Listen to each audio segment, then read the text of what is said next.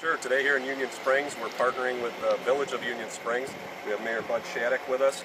We have Doug Porton with us from Nick's Ride for Friends and Jolynn Mulholland from our Community Drug Free Community Coalition here in Cayuga County, as well as uh, Sergeant Myers from our Sheriff's Office. We're partnering on this drug take-back event to get dangerous prescription medication off, off, uh, off the out of medicine cabinets and off the street.